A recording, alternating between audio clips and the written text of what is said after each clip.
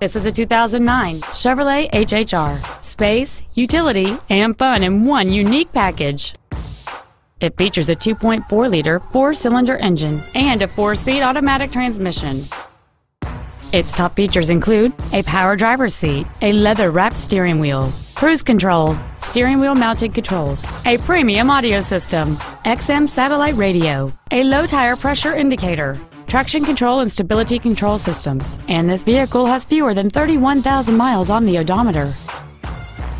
This Chevrolet has had only one owner, and it qualifies for the Carfax buyback guarantee. This vehicle is sure to sell fast. Call and arrange your test drive today.